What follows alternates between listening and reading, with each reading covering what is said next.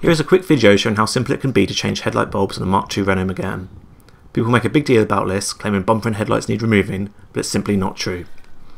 For the driver's side, you need to be on full lock left and to jack the car up, but then all you need to do is remove this access cover and reach through.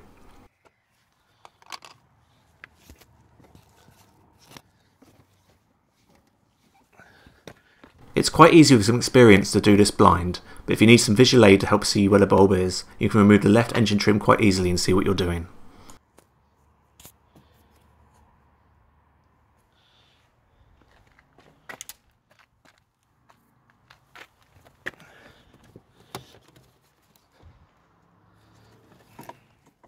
For the passenger side, you can access most of the bulbs without removing anything, maybe just the battery cover if your Megane has one, but there's also a similar access cover in the wheel arch if needed.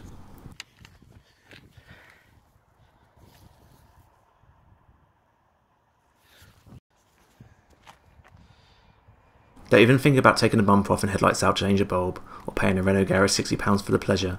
It's completely unnecessary.